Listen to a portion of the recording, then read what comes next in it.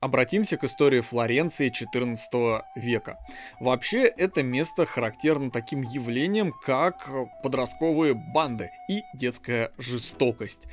Очень много упоминаний о том, что дети собирались в группы, в которых были подростки от 7 до 14 лет и творили всякие бесчинства и беспредел в рамках города. Например, они устраивали выкапывание трупов, протаскивание трупов по улице и всякие мерзкие игры и расчлененку с этими трупами.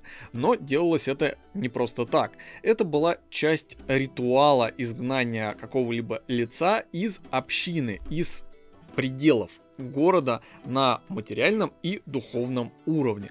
Подробно я об этом рассказал в целых семи больших выпусках на нашем канале. Ссылку я оставлю в комментариях.